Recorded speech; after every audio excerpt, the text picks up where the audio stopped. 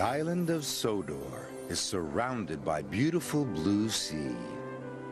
It has fields of green and sandy yellow beaches. There are rivers, streams, and lots of trees where the birds sing.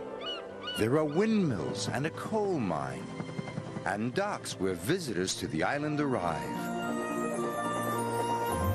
The island also has lots and lots of railway lines. Who's that puffing down the track? It's Thomas. Hello, Thomas. Hello, everybody.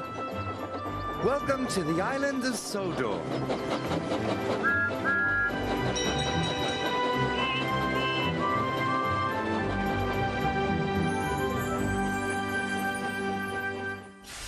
Today on the island of Sodor, we'll see Percy meet a famous artist. Then see James in a giant red balloon. Then follow Thomas as he chases a rainbow. But first, Sir Topham Hatt has a special for Percy.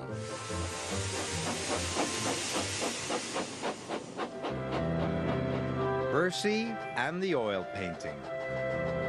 The island of Sodor is a very special place. It has hills and valleys, fields and forests. All of Sir Topham Hatt's engines love the island of Sodor. One day, Sir Topham Hatt came to Tidmouth Sheds. He had splendid news. The mayor has invited a famous artist to paint a picture called The Spirit of Sodor. It will be put on show at Knapford Station, boomed Sir Topham Hatt. Percy, you must collect the artist from Brendam Docks and show him all the most beautiful places. Yes, sir, said Percy.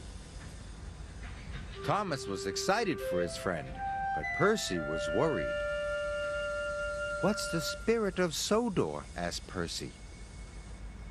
Thomas thought. Everything that is special about the island, he said. No one knows the island better than you, he puffed. And no one loves it more than you.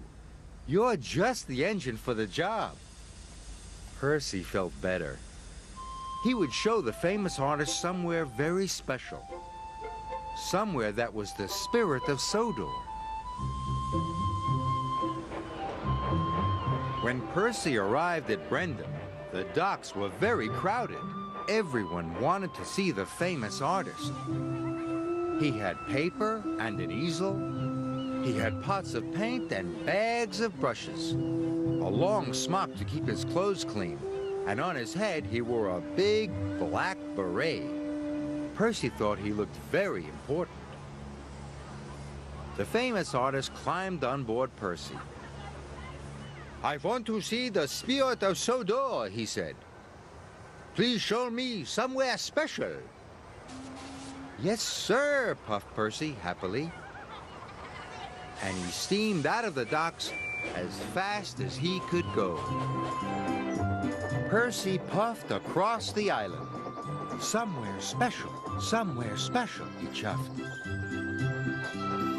At last, Percy came to Shen Valley. It was very beautiful. There you are, sir, cried Percy happily.